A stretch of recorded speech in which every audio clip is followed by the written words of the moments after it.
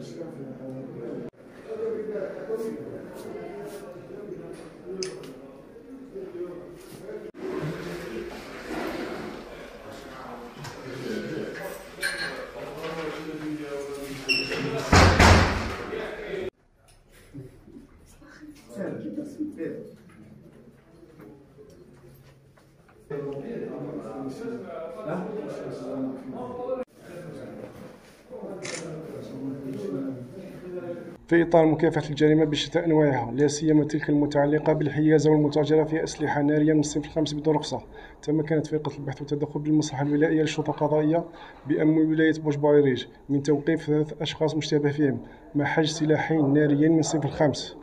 بندقية آلية مضخية من نوع بيريتا صنع إيطالي. عيار 12 ملم بندقية من صنع فرنسي من نوع إليس عيار 16 ملم المشتبه فيهم بعد استيفاء الإجراءات القانونية تم تقديمهم أمام السيد وكيل الجمهورية لدى النيابة المختصة